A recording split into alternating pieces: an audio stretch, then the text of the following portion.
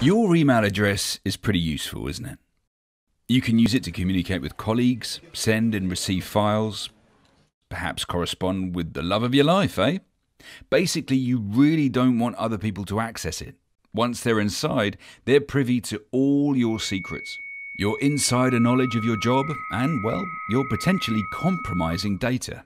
They can likely access your entire computer through your emails during one of these cyber attacks, so it's important to keep it all safe. Hackers are ingenious. They'll use a variety of techniques to find their way in, with the goal of making money from you somehow. Let's find out how to stop them together.